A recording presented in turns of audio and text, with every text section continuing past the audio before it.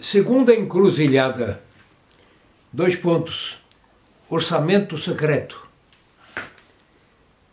Nós tivemos já há algum tempo a primeira encruzilhada. Se chamou Lava Jato. O país perdeu.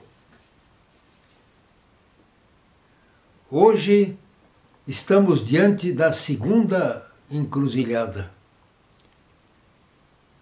o orçamento secreto que foi inventado pelo Congresso no governo Bolsonaro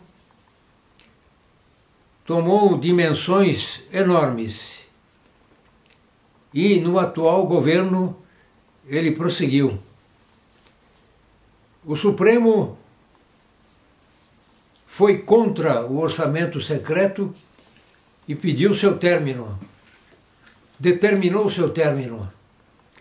Acontece que os congressistas descobriram um jeito de fraudar a decisão.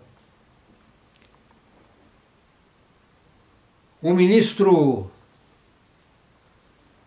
Dino, Flávio Dino, acabou de determinar